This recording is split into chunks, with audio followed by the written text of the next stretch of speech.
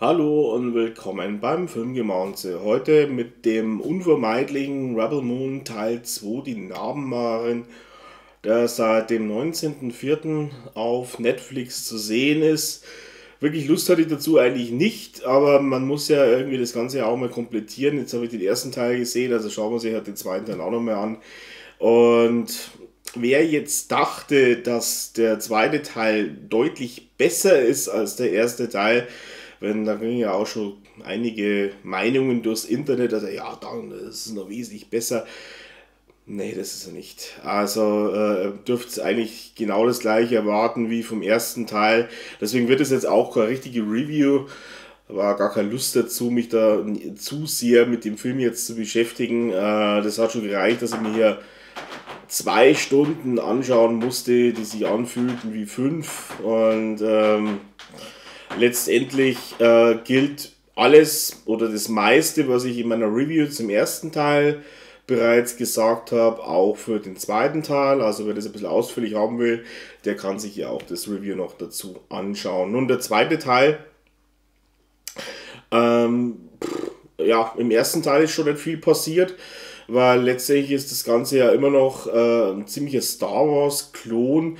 Und äh, Zack Snyder klaut sich hier irgendwie aus allen und Ecken und Enden eigentlich im Prinzip was nicht bei drei auf den Bäumen ist, alles zusammen und das, das Ganze dann vordergründig natürlich noch als äh, die Geschichte von äh, Kurosawas, die sieben Samurai verpackt oder von mir aus die glorreichen sieben, Battle Beyond the Stars. Ähm, das ist halt alles nicht wirklich originell. Ne? Ähm, vor allem ist es so, dass im zweiten Teil hat man dann das Gefühl, dass sich die ganze Handlung eigentlich im Kreis dreht.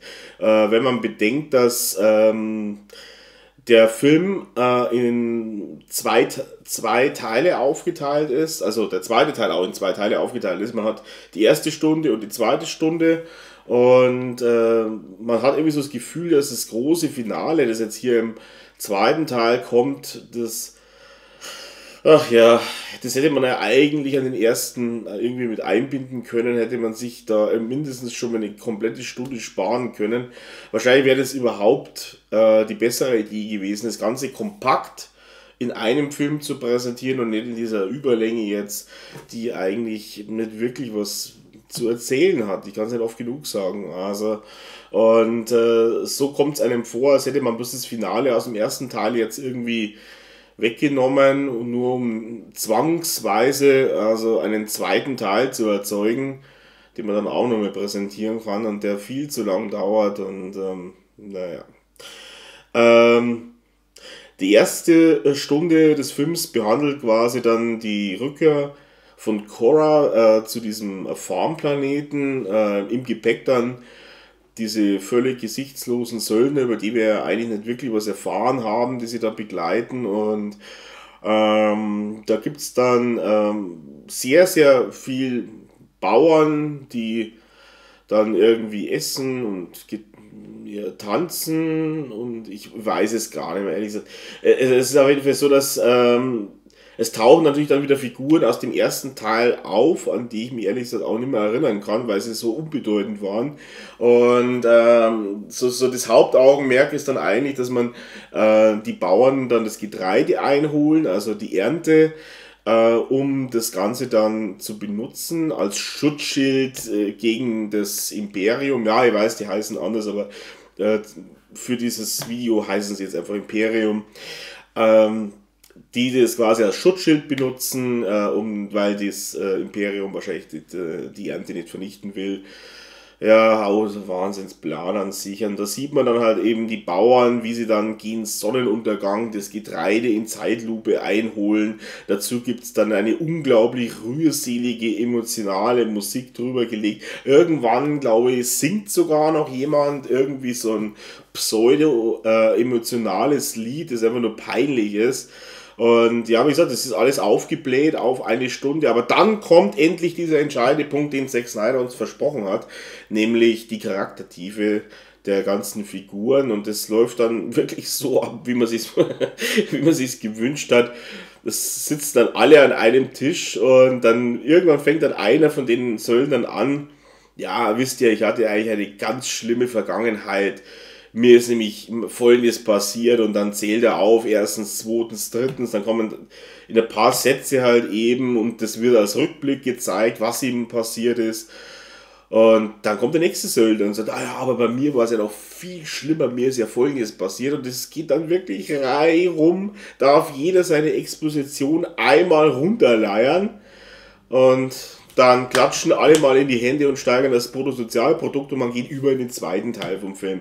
Das ist so schlecht gemacht, das ist so schlecht. Also das ist äh, der Worst Case, wie man Charaktere in, in einem Film präsentiert. Die Figuren waren mir anschließend genauso egal. Ich wusste genauso wenig. Äh, also äh, unfassbar, dachte ich mir. Es war dann, das war dann der entscheidende Punkt, wo ich am liebsten eigentlich das erste Mal abgeschaltet hätte, den Film. Aber gut, das war ja noch nicht alles. Es steht ja noch eine ganze lange weitere Stunde bevor. Und knallhart, ich bin aber das noch durchgezogen. Und der, der zweite Teil des zweiten Teils handelt dann eigentlich nur noch das Finale ab. Das ist eine riesengroße äh, ja, Materialschlacht äh, nachdem das Imperium dann anrückt und äh, mit seinen Truppen landet, und dann dürfen halt die Söldner mit ihren in ein paar Stunden ausgebildeten Profibauern, weil äh, letztendlich haben sie ja eigentlich fünf Tage Zeit gehabt und davon haben sie, glaube ich, viereinhalb Tage Ernte eingeholt, also wesentlich mehr Zeit dürfte da nicht gewesen sein. Auf jeden Fall äh, stellen sie sich dann äh, dem Imperium entgegen. Ja, das Ganze ist dann. Es ist wieder richtig schlechtes CGI. Also diesmal ist es richtig schlechtes CGI. Im ersten Teil war es so mittel bis schlecht. Jetzt glaube ich, ist es noch schlechter geworden. Also anscheinend das Budget für den zweiten Teil nicht mehr ganz ausgereicht. Und äh, das Ganze ist ein absoluter Overkill von Slow-Motion-Szenen. Dann so, so, hey, da packen wir noch eine Slow-Motion und da packen wir jetzt noch eine rein und das müssen wir unbedingt in Slow-Motion. Dann denkst du, Alter, der Film wäre wahrscheinlich, das könnte man in 10 Minuten erzählen oder eine Viertelstunde, wenn nicht so viele Slow-Motion-Szenen drin wären. Und ja, die Söldner, die ja eigentlich weiterhin total uninteressant sind, weil sie eigentlich mir egal sind. Das ist, äh, ob die jetzt sterben oder nicht. Und ähm, die machen aber auch nichts. Die kriegen keine bedeutende Szenen in diesem Finale, sondern die stehen meistens dann mit irgendeiner Waffe rum, stieren in die Luft, in die Gegend rum und äh, ja, dann kommt ja noch der, der ominöse Roboter, der von Anthony Hopkins im Original gesprochen wird. Der taucht auch wieder auf im zweiten Teil, sogar öfters mal und eigentlich steht der aber auch nur rum und stiert und lauert dann immer irgendwas, dass er sich da, das ist ja alles schon zum Scheitern verurteilt und äh, er mischt sich da nicht ein und irgendwann kommt dann die Wende, wo er sich dann doch einmischt und er darf dann wirklich in einer ganzen Szene, also nicht in einer halben, er darf in einer ganzen Szene dann auch mal um sich schießen und ein paar von den imperialen Truppen da wegballern und das war's. Äh, mehr Bedeutung hat die Figur wohl nicht. Ähm, ja, also ähm, was haben wir sonst noch? Ich meine, äh, da können wir jetzt eigentlich schon zum Ende kommen. Es ist eigentlich nicht mehr zu sagen. Es äh, es, wir haben halt hier die Hauptdarstellerin äh, Cora, gespielt von ähm, Sophia Butella, die auch im zweiten Teil den Film keines, zu keiner Minute tragen kann. Ähm, also zumindest was äh, hier Rebel Moon angeht, scheint mir die Dame doch relativ talentresistent zu sein, weil ähm, Sie hat kaum irgendeine Mimik, Gesichtsausdrücke oder irgendwelche Emotionen, die sie wiedergeben kann. Das ist alles. Dazu kommt, äh, das betrifft aber jetzt nicht nur die Figur der Cora, sondern eigentlich alle, dass der Film dann auch noch gespickt ist mit irgendwelchen Dialogen, die nie ein Mensch so sagen würde. Das ist auch alles so fürchterlich, dazu zu hören. Und ähm, ja, ähm, ich weiß es nicht. Also für wen soll der Film äh, interessant sein? Es ist einfach ähm, der Film hat nichts zu erzählen. Es ist ein Star Wars äh, Rip-Off, nur schlecht erzählt. Und äh, wenn ich dann halt sehe, äh, dass hier im Prinzip dann Zack Snyder jetzt im Vorfeld vom zweiten Teil wieder sein, sein, ja, sein, Director's Cut angekündigt hat, weil letztendlich sieht man das dem Film ja auch wie im ersten Teil auch an, dass ja einiges im Finale, im zweiten Teil, wenn es zum Kampf kommt, beschnitten ist, ist blutleer. Äh, da rollen jetzt keine Köpfe oder irgend sowas und das soll es ja dann wesentlich längere Versionen geben. Das hat er ja schon im ersten Teil angekündigt, der dann wahrscheinlich vier oder acht Stunden dauert. Aber äh, genau, wer will denn das noch sehen, wenn die, die ganze Story, die Charaktere und dem, der ganzen Geschichte fehlt es an Ideen. Und da brauche ich keinen Director's Cut äh, mit, mit Stunden über Stunden, die ich da anschaue. Ich würde mir das nicht anschauen, also definitiv nicht.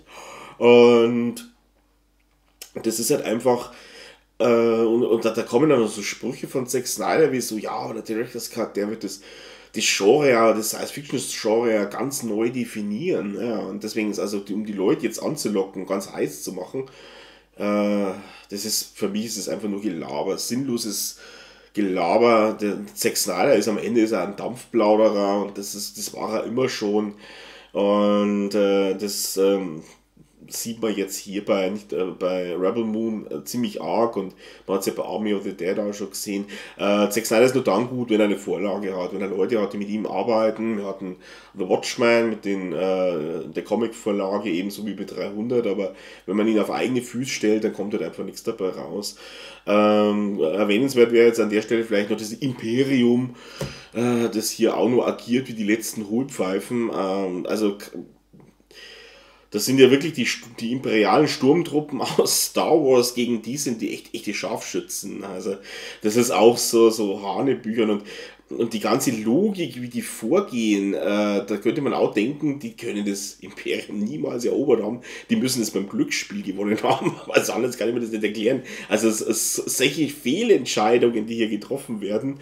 Äh, Ed Skrein natürlich hier als Bösewicht war ein Lichtblick im ersten Teil noch, der war okay. Aber der ist jetzt leider im zweiten Punkt, der ist ja wieder dabei. Das ist eigentlich jetzt äh, hoffentlich kein Spoiler, aber ja, der ist jetzt einfach nur ein hasserfüllter und besonders peinlich böser Bösewicht des Böseseins willen.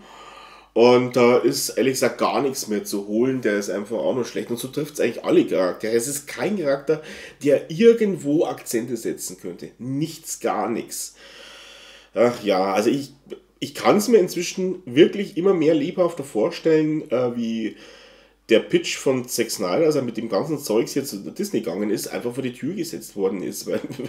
Also, also ich mag die Disney-Sachen, viele nicht, aber, aber das hier, das ist noch wirklich eine ganze, ganze Liga drunter. Und wenn ihr dann jetzt auch wieder, weil er ist ja so ein alter Dampfplauder, jetzt erzählt er auch noch, im Zuge dessen, also er hätte noch Material für sechs weitere Filme im Rebel Moon Universum. Und da denke ich mir dann bloß, hoffentlich gibt es irgendwo eine höhere Macht, die das verhindern kann, weil das braucht wirklich kein Mensch mehr. Und das soll sich bitte jetzt mal irgendjemand suchen, gute Drehbuchautoren, gute Leute, die ihm zur Seite stehen. Und dann kann er ja vielleicht mit seinen Bildern irgendwie was rauszaubern wieder, aber so Zack Snyder auf Solo-Exkursion, das wird nichts. Also das hat er jetzt genug bewiesen. Ja, gut. So, und da ich jetzt keine Lust mehr habe, mehr über Rebel Moon zu erzählen und das eigentlich eh alles nur, im letztendlich ist der ganze Film, wie gesagt, ein Rip-Off von Star Wars. Und äh, wie ich es gesagt habe, obendrauf auf das Ganze die vordergründige Story ist Kurosawas Die Sieben Samurai das kann ich euch an der Stelle immer und wieder ans Herz legen. Schaut euch lieber den Film an, da habt ihr mehr davon. Und äh, für den Murks, den er hier ver äh, ja, verbrochen hat, äh, gebe ich jetzt auch äh, als Fazit, jetzt haben wir beide Teile gesehen, auch nur noch einen von zehn möglichen Punkten. Und wenn es auch nur der eine Punkt ist, dafür, dass der Film Gott sei Dank nicht länger als zwei Stunden gedauert hat. So, ähm, dann wünsche ich euch jetzt an der Stelle eine gute Zeit. Schaut euch hoffentlich irgendwas Vernünftiges an. Irgendwas, alles ist besser als Rebel Moon, kann ich euch gleich sagen. Und, aber wie gesagt, für den, der sich an solche Sachen bespaßen kann, sei es wegen der Action äh, in der zweiten Hälfte des Films, dem wünsche ich natürlich viel Spaß, aber ja, da muss man schon die Messlatte ganz tief unten ansetzen. In diesem Sinne, bis zum nächsten Mal und ciao.